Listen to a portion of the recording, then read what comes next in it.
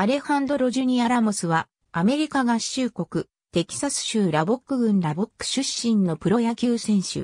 右投右打ち。MLB のロサンゼルスエンゼルス所属。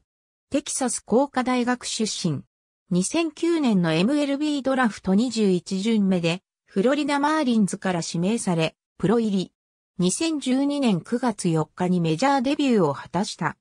この年は11試合に登板し、勝敗はつかなかったが、防御率3.86、ホイップ1.29という成績を記録。能力面では、高い三振脱死能力を発揮し、91、3回で13個の三振を奪った。2013年は、リリーフ陣の一角に定着し、68試合に登板。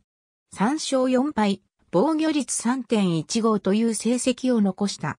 脱三振能力は相変わらずで、脱三振率9.7をマークしたが、他方で予死球率が大幅に悪化して4.8となり、請求面での課題が見え隠れした。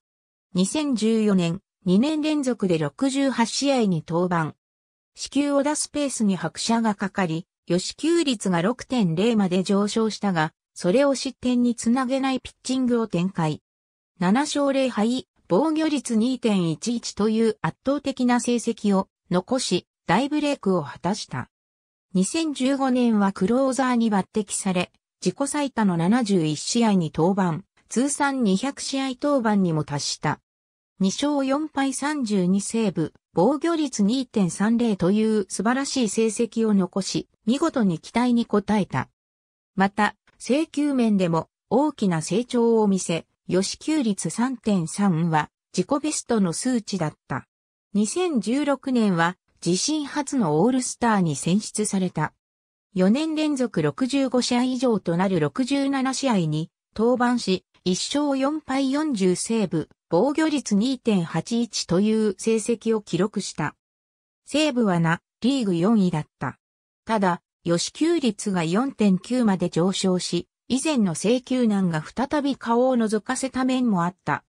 2017年7月28日にメランディ、ゴンザレス、リカルド・セスペデスとのトレードでニューヨークメッツへ移籍した。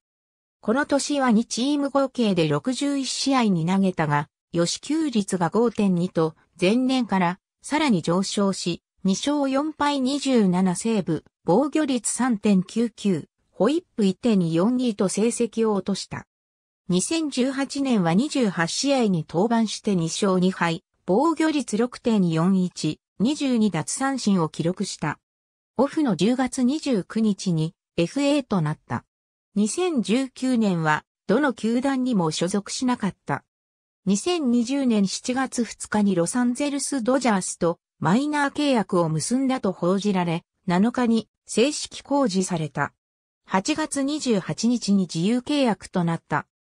その後、8月30日にシカゴカブスとマイナー契約を結んだが、9月3日に自由契約となった。2020年9月4日にコロラドロッキーズとマイナー契約を結んだ。9月19日にメジャー契約を結んでアクティブロースター入りした。オフの10月28日に FA となった。2021年3月26日にロサンゼルスエンゼルスとマイナー契約を結んだ。シーズンでは5月のマイナーリーグ開幕から参加のトリプル A 級ソルトレークビーズでプレーし、42試合に登板して0勝2敗にセーブ、防御率5.26、76奪三振を記録した。9月23日にメジャー契約を結んでアクティブロースター入りした。ありがとうございます。